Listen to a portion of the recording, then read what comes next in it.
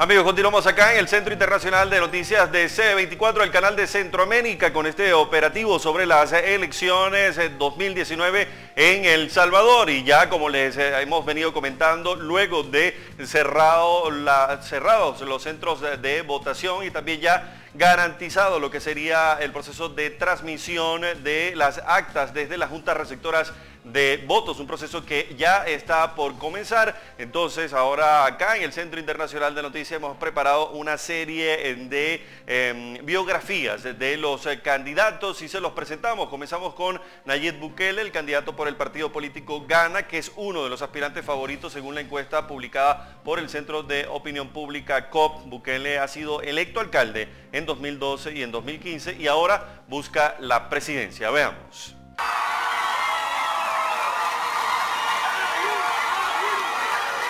Nayib Bukele nació el 24 de julio de 1981 en San Salvador. En el año 2012 comenzó su carrera política cuando fue electo como alcalde de Nuevo Cuscatlán y seguidamente en el año 2015 obtuvo el puesto de alcalde en San Salvador. Algunas de las obras de Bukele han sido la revitalización del centro histórico en San Salvador, la reconstrucción de las plazas principales de la ciudad, la recuperación de espacios públicos, la implementación del arte y la cultura con la formación de la Compañía de Danza de San Salvador, un convenio con la Liga de Fútbol en la que incluyen a más de 3.000 niños, entre otras. Bueno, ahora vamos a conocer información del perfil de Carlos Calleja, el candidato del partido Arena. El candidato del partido Arena que ha mantenido también eh, mucha polémica, sobre todo por algunas eh, aspirantes de eh, la izquierda que le han hecho una serie de señalamientos en su contra por ser hijo de un gran empresario en El Salvador. Vamos a ver la información que se tiene en este perfil que han preparado producción para ustedes. Carlos Calleja nació el 11 de febrero de 1976. Es el candidato por el partido Arena. Es empresario y vicepresidente del Grupo Calleja. Calleja ha sido director de la Cámara de Comercio, también ha tenido la dirección de supermercados de Centroamérica y Panamá, SUCAP, y es miembro del Consejo de la Asociación Nacional de la Empresa Privada, ANEP. El empresario también es el presidente de la Fundación Sin Fines de Lucro, Fundación Calleja la cual se dedica a hacer obras de bien social que benefician al medio ambiente, al igual que a los jóvenes y niños. Y tenemos al aspirante a la presidencia por el partido Frente Farabundo Martí de Liberación Nacional, Hugo Martínez, uno de los candidatos de mayor trayectoria política. Vamos a ver esta nota. Hugo Martínez nació el 2 de enero de 1968 es el candidato por el partido político Frente Farabundo Martí de Liberación Nacional. Martínez ha sido canciller durante un periodo de nueve años. Fue diputado de la Asamblea Legislativa en 1994.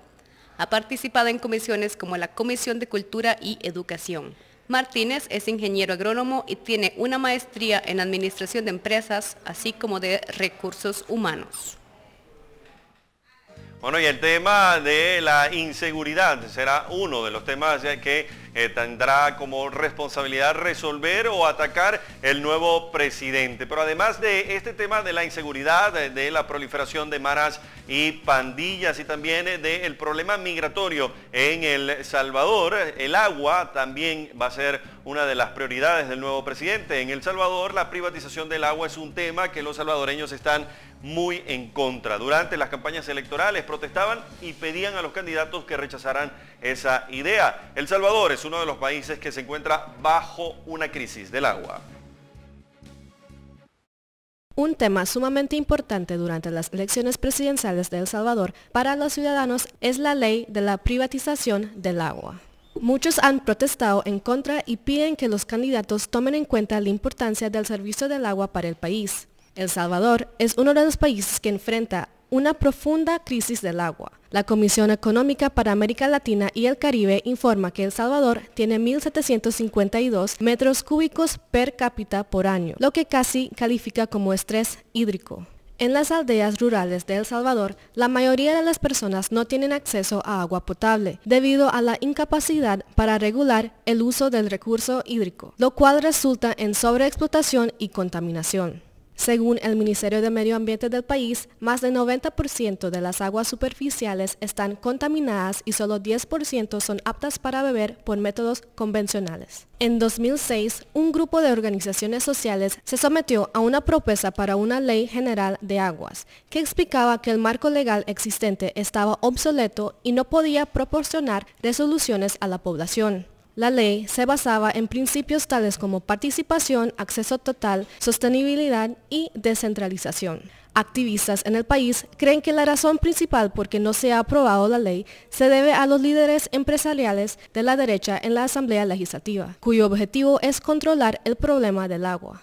El Congreso de El Salvador está en discusión de un proyecto de ley que creará un ente regulador de agua, lo cual podría causar que se abren las puertas a la participación del sector privado, una idea que causa preocupación en los salvadoreños porque dejará el control del agua en manos a instituciones y empresarios privados. El arzobispo de San Salvador, Monseñor José Luis Escobar, insiste que los salvadoreños voten responsablemente y también eviten cualquier intento de privatizar el agua. Menciona que en una sociedad democrática el agua no se puede privatizar, lo cual beneficiará a pocos e irá en detrimento de las poblaciones vulnerables. Bueno, el agua, la salud también eh, pendiente, el nuevo presidente del eh, combate a las maras y pandillas y mejorar la seguridad, tareas pendientes el nuevo presidente de los salvadoreños. Recuerden que nosotros estamos acá en un operativo especial haciendo un seguimiento a esta jornada de las elecciones presidenciales en El Salvador y también en nuestra página web, la www, tenemos minuto a minuto información de lo que pasa en El Salvador. Recuerden, en nuestra página web, la www.c24.tv, estamos actualizando información de todo lo que ocurre en El Salvador y en las elecciones presidenciales. Vamos a una pausa y en breve volvemos con más de este operativo especial. Elecciones presidenciales del Salvador 2019 por CB24, el canal de Centroamérica.